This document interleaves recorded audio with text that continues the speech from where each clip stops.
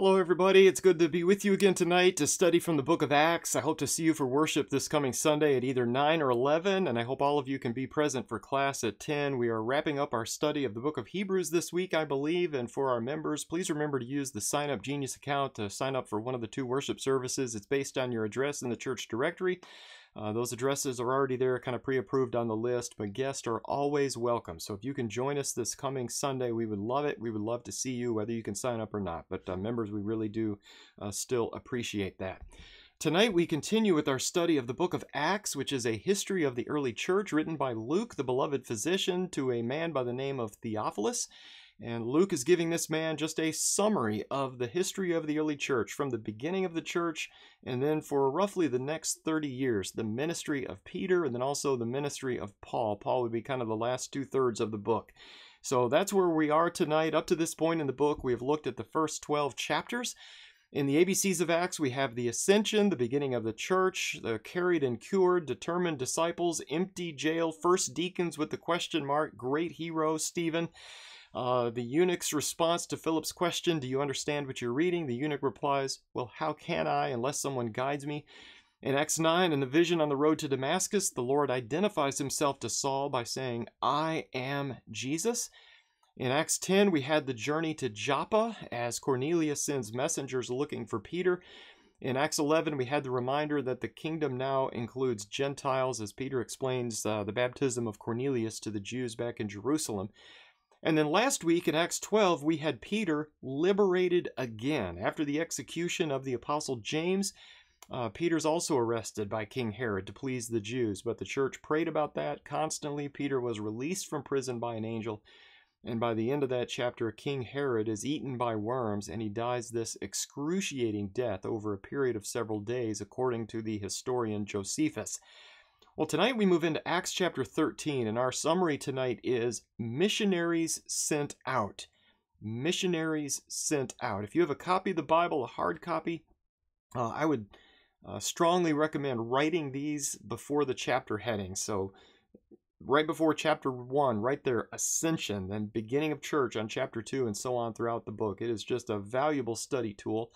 Uh, class tonight might be a little bit shorter. I'm expecting it to be anyway because of how this chapter is divided. We could press forward and cover the whole chapter, but I'm usually aiming for around 45 minutes, give or take. And if we go anywhere beyond where I think we'll get tonight, that would perhaps put us over an hour. So I don't want to do that. I value your time. And I know we could study the Bible for the next six hours. We could justify that, but I know we have schedules. We got to get to bed. There's work and stuff going on. So anyway, I just want to keep it uh, concise here. So our first paragraph tonight is Acts 13 verses 1, 2, and 3. So if you're not there already, I would appreciate it if you could join me in Acts 13 verses 1, 2, and 3. Now there were at Antioch in the church that was there prophets and teachers. Barnabas and Simeon, who was called Niger, and Lucius of Cyrene, and Manaen, who had been brought up with Herod the Tetrarch and Saul. While they were ministering to the Lord and fasting, the Holy Spirit said, Set apart for me Barnabas and Saul for the work to which I have called them. Then, when they had fasted and prayed and laid their hands on them, they sent them away. We have a few very significant things going on here, starting with the fact that what is known as Paul's first missionary journey starts not in Jerusalem, but it starts from Antioch. And that's not maybe what we would expect if we could predict this going forward, but it starts in Antioch. It seems that the church in Antioch is perhaps larger at this point in time. It is perhaps better equipped uh, financially and manpower wise, better equipped to send out missionaries at this point. Uh, remember, the church in Jerusalem had been the subject of some intense persecution, and people ran everywhere. Kind of just the apostles were left back there for a while. And this persecution came first from the Sanhedrin, then from Saul, and then it's been coming lately from King Herod. Antioch, though, is farther north, has perhaps been spared the worst of this. Uh, also, it is significant that the church in Antioch is made up of quite a few Gentiles, and so we have Gentiles reaching out to Gentiles. We have Gentiles or Greeks sending missionaries to the rest of the Greek speaking world. Remember, a vast majority of people in the world are not Jews, most are Gentiles. So we have Gentiles sending missionaries into the rest of the world, which would probably be better received um, than Jewish people in Jerusalem sending out missionaries. So it seems very wise there. Obviously, God is the one who is orchestrating this. In verse 1, we have a list of prophets and teachers. Teachers are obviously those who teach the Word of God. Uh, prophets, literally, according to the definition of the word, are those who speak forth, prophet. So to speak before, to speak forth on God's behalf. Uh, sometimes this involves predicting the future. A lot of times people hear about a prophet and they immediately think, ooh, a fortune teller, somebody who knows the future. Well, that can be part of it. Um, but other times, these are people, I would say, in my own mind, the way I look at it, these are people who have a hotline to God. Uh, God is there, and God is communicating directly. God tells them what to say, and they say it. Uh, they speak forth. That is the meaning of the word. Again, sometimes it's telling the future, sometimes it's just speaking the word of God. We know Barnabas, he's here. We've had him uh, referred to a few times in the book already. Uh, Simeon is perhaps new to us, not the name Simeon, but this Simeon. We don't know much about this Sim- Simeon other than he was called Niger. Uh, this was his nickname, and it is a word meaning dark. And so we assume he was perhaps dark skinned, or at least more so than most in this area at this time. Uh, we're introduced to Lucius, and uh, all we know about him is that he is from Cyrene. Remember, we learned in Acts 11 20 uh, just a few weeks ago that certain men from Cyprus and Cyrene came to Antioch for the purpose of teaching the Greeks about Jesus. And maybe Lucius is one of these men. We don't know, uh, but it does seem to, to make sense. Uh, the other person we know from uh, Cyrene is Simon. And that was the man who was pressed into service by the Romans to carry Jesus' cross. And so it's a, it's a possibility that Simon of Cyrene went back uh, home after that experience and told people about it, and, and people were converted in that way. Maybe. Uh, the other man here is Manaen. All we know about him is that he had been brought up with Herod the Tetrarch. Uh, perhaps Manaen was some kind of servant, uh, some kind of official in King Herod's administration. Maybe had some kind of government job, so we got a bureaucrat here. And then we also have Saul, but uh, these seem to be the, the leading men of the congregation. These are some of the names that uh, maybe Theophilus would have known. Uh, that could be a possibility here. These may not be people listed because we might know them, obviously. Uh, but Luke is writing Theophilus, and uh, let me throw some names at you that you might recognize. In verse 2, we find that these men were serving the Lord and fasting. We aren't told exactly what they were doing, we aren't told exactly how they were fasting. Very sparse details here. But during this time of service and fasting, the Holy Spirit steps into this situation and tells them to set apart Barnabas and Saul for some special mission. Uh, one of the commentaries I was reading earlier today made the point of saying that the first missionary journey happened not because of some kind of a board meeting. It, it wasn't some kind of uh, church conference that got together, but rather the Holy Spirit orchestrated this. And so at this point, seeing what's going on, they pray and they fast some more. Uh, as far as I can tell, the law of Moses never commanded fasting. That was shocking to me when I learned that a number of years back. The old law never commanded fasting. Uh, they were told to humble their souls on the Day of Atonement. Generally, this was interpreted at fasting. But as far as I can tell, there's nowhere in the Old Testament where God said, Thou shalt go without food for 24 hours. That there's no, there's nothing like that in the Old Testament. But fasting is never demanded. Uh, later, God would have some things to say about fasting in the prophets, but it's primarily because these people were fasting, thinking they were being pleasing to God, as they were simultaneously mistreating the poor and lying and divorcing their wives and, and on and on and on. So God did have something to say about that. And that basically, I'm just paraphrasing a few scattered verses. Your fasting is an abomination to me. You think you're doing this to make me happy, but you're not.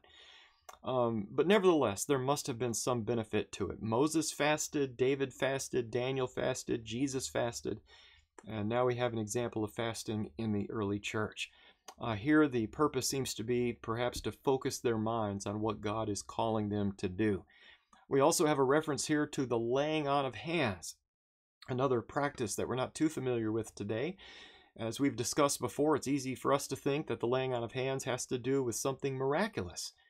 And often it is uh, something miraculous. Healings sometimes happen that way. Uh, sometimes it's a reference, though, to somebody being beat up. to lay hands on a person. I think uh, I've heard the police refer to going hands on with somebody. Have you heard that phrase? And uh, literally, they are laying their hands on people. Well, that's not what's going on here. They, the church isn't beating up the, these men. Uh, we do know the miraculous gifts were given to people through the laying on of the apostles' hands. Uh, not everybody could do that, just the apostles. We read about that in Acts chapter 8. And uh, this is one of several ways we know that we do not have the miraculous spiritual gifts today. We don't have any apostles to give them to us. And here the laying on of hands seems to simply refer to some way of setting people apart for a special purpose or mission, kind of a public acknowledgement that these people are being sent out by the church. And we see this with the appointment of the seven men over in Acts chapter 6. So I don't know exactly what that would have looked like. I would think the, the leaders of the church putting their hands on the shoulders of these people, saying, saying, This person is now representing us, and they're sending them out on this mission. So the church sends them away. Uh, as we discussed a few weeks ago, this doesn't mean they just send them out the door, doesn't mean they just wave goodbye. That's not what it means by sending them. But it probably also means that they supplied them, that they equipped them for the mission. They sent them with food and supplies and finances or whatever they needed so they could do the work that they needed to do. So let's continue tonight with Acts 13, verses 4 through 12. Acts 13, verses 4 through 12. So, being sent out by the Holy Spirit, they went down to Seleucia, and from there they sailed to Cyprus. When they reached Salamis, they began to proclaim the word of God in the synagogues of the Jews, and they also had John as their helper. When they had gone through the whole island as far as Paphos, they found a magician, a Jewish false prophet whose name was Bar Jesus, who was with the proconsul Sergius Paulus, a man of intelligence. This man summoned Barnabas and Saul and sought to hear the word of God. But Elymas, the magician, for so his name is translated, was opposing them, seeking to turn the proconsul away from the faith. But Saul, who was also known as Paul, filled with the Holy Spirit, fixed his gaze on him and said, You who are full of all deceit and fraud, you son of the devil, you enemy of all righteousness, will you not cease to make crooked the straight ways of the Lord? Now behold, the hand of the Lord is upon you, and you will be blind and not see the sun for a time. And immediately a mist and a darkness fell upon him and he went about seeking those who would lead him by the hand. Then the proconsul believed when he saw what had happened, being amazed at the teaching of the Lord. To try to help us picture where this team is going, I think we might have found uh, some decent maps that we can share online, at least for now. I'm still looking. Um, these use the same Creative Commons license that we use in our Bible correspondence courses. Basically, feel free to use this, but don't put a more restrictive license on it. So we can't copyright it out from under these people. We can use it, but we can't copyright it ourselves, if I've understood this correctly by reading the fine print. Uh, they also ask that we give them the credit, which we gladly do. We've done this a number of times through the years. We want to give credit to artists when we can. Uh, BibleTalk.tv is the, the source here. They're sponsored by a number of churches of Christ, many of them in Oklahoma. And so we're very thankful for their graphics tonight and probably going forward. I've zoomed in a bit on this one to show us how the group leaves from Seleucia along the coast near Antioch. So they go from Antioch down to Seleucia, then they go, they travel over to Salamis, a city on the island of Cyprus. Uh, Cyprus is that island in the Mediterranean Sea that looks a bit like the United States. Remember, I pointed that out a few weeks ago. I don't know if anybody else thinks of it that way, but to me, it's like a tiny United States. I think it's about 100 miles across. Uh, so in my mind, Salamis is about where New York City should be. Uh, in Salamis, they start preaching, teaching in the synagogues of the Jews. This will be a pattern on these trips, so they're establishing that early on. They'll they'll often start with the Jews in the synagogues, then they'll get kicked out, and then they'll move along to the Gentiles. Um, by the way, have we ever wondered why they go to Cyprus first? We have no indication that the Spirit said, go here. You might have, but we're not told. So why Cyprus? Out of out of all the places in the world, why go there? Why go to Cyprus? We aren't told. But do we think it might have something to do with Barnabas being from Cyprus? I think there's another passage that tells us that Barnabas was from Cyprus. And I would not be surprised to find out someday that they go to Cyprus so that Barnabas can start this trip by sharing the gospel with his own family. That Barnabas goes where he knows the land. Let's start out somewhere familiar. Let's go stay with my people. We'll go there, we'll preach there first, and then move on from there. Hopefully, someday we'll meet Barnabas and we can say, hey, why did you guys go to Cyprus first? Why not go some other direction? And I would not be shocked at all to learn uh, that that is the reason why. Uh, nevertheless, they then make their way across the island over to Paphos. Again, about a hundred mile journey across the island there. Uh, I'm thinking Paphos is uh, kind of, I don't know, somewhere about where San Francisco should be or some city out there on the west coast. Uh, but Paphos is on the western end of Cyprus.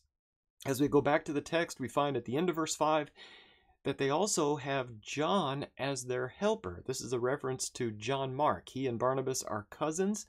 So on this first trip, at least at the beginning, we have Barnabas and Saul and John Mark. It's a rather small group. Um, remember, Jesus did tell his followers to go out at least two by two. You don't go out alone preaching the gospel. You try to take somebody with you. There's a lot of wisdom in that. So we've got Barnabas and Saul and John Mark.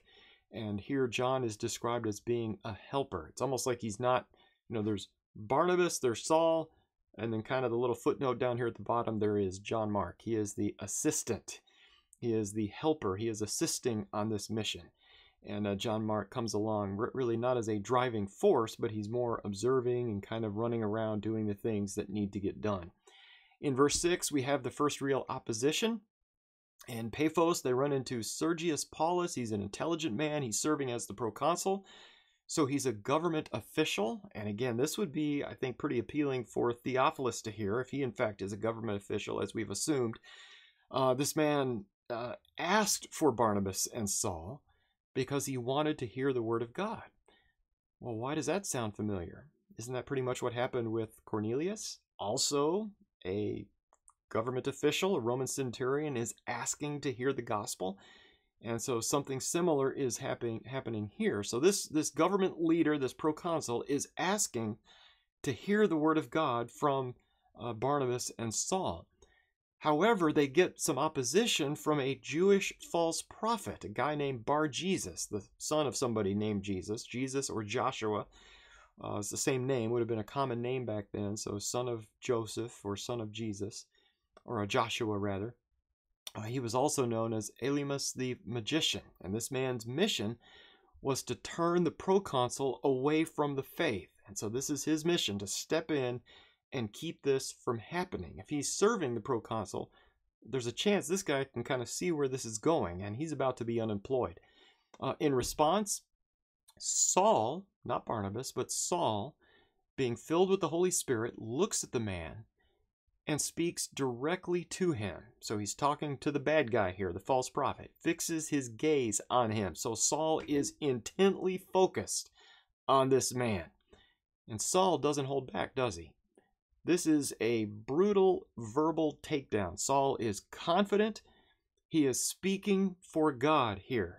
Saul is speaking on God's behalf. This is God speaking through the apostle. He accuses the man of being full of all deceit and fraud. He calls him a son of the devil, the enemy of all righteousness. And he accuses him of constantly making crooked the straight ways of the Lord. Remember how John the Baptist was to make straight the crooked ways? This guy is doing the opposite of that. He's making crooked the straight ways. He's making everything that's truly simple complicated.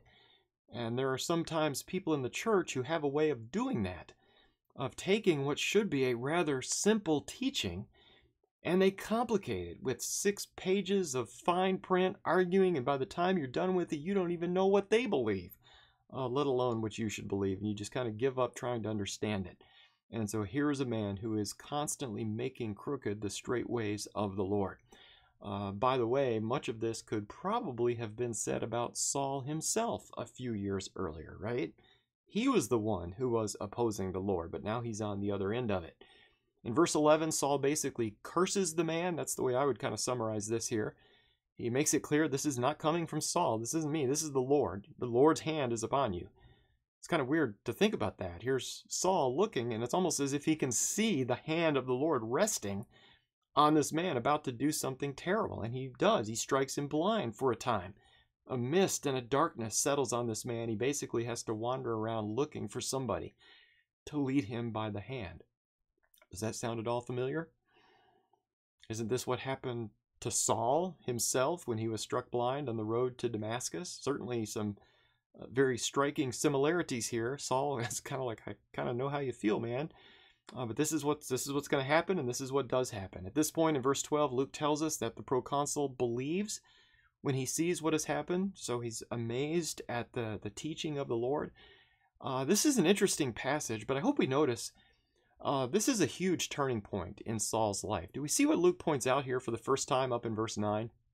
Saul was also known as Paul. So, as far as I can tell, this is the first time now that we read about Paul being Paul. It's also the first time we see Paul taking a real leadership role. He's not following here, is he? Uh, he's leading this situation. And we notice something else. Up until this point, we read about Barnabas and Saul. They sent out Barnabas and Saul. Barnabas and Saul show up on the island and so on, as if Barnabas is the leader.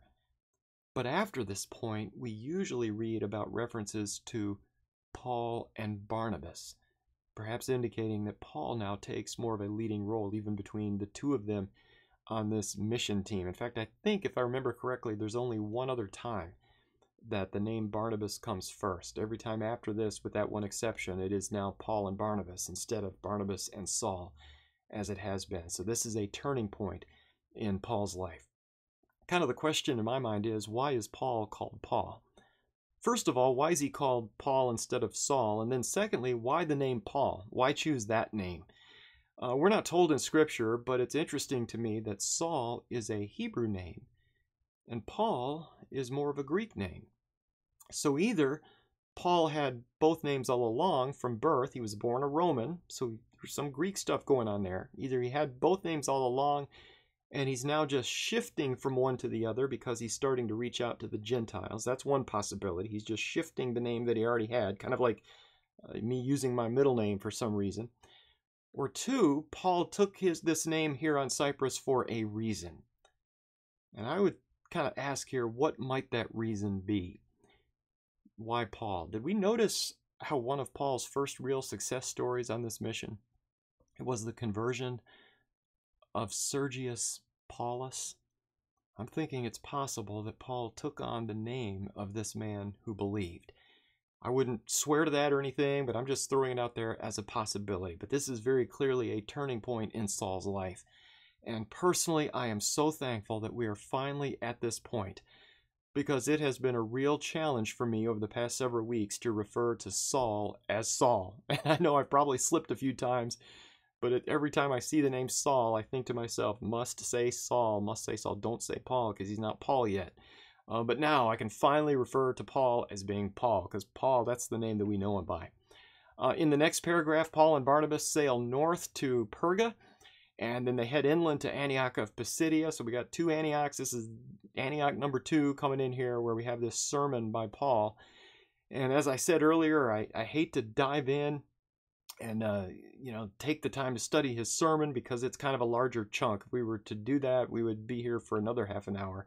So I think this is a good place to take a break. So next week, then let's pick up, uh, if the Lord wills, with Acts 13, 13, and then move on from there and we'll come to the next phase in Paul's missionary journey, his first one. Uh, tonight, though, we've seen missionaries sent out. Missionaries sent out. If you want to write that in your Bible, that'd be great. Uh, if you can improve on this, let me know if you have something better than missionaries sent out. But to me, I don't see how to improve that one. But if you want to surprise the class, feel free to pass it on, and I'd uh, love to share it. Uh, thank you again for taking the time to study with us tonight. I hope you can be present for worship on Sunday, either at 9 or 11. And please also plan on joining us between those two services for a Bible study at, uh, at 10. Uh, let me know if you have anything that we need to be praying about. But let's close tonight by going to God in prayer. Our Father in heaven, you are the God who loves all people, Jews and Gentiles. And tonight we've seen your love preached in far off places for the very first time. We're thankful for Paul and Barnabas. We're thankful for John Mark. Like Sergius Paulus, we pray that our hearts would be open to the truth of your message, that we'd be eager to hear it as he was. Thank you, Father, for Jesus. Thank you for saving us. And thank you for hearing our prayer. In Jesus we pray. Amen.